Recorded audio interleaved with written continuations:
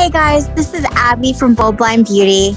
I just want to give a shout out to everybody. I know we're all going through some really difficult times right now with the coronavirus all over the world.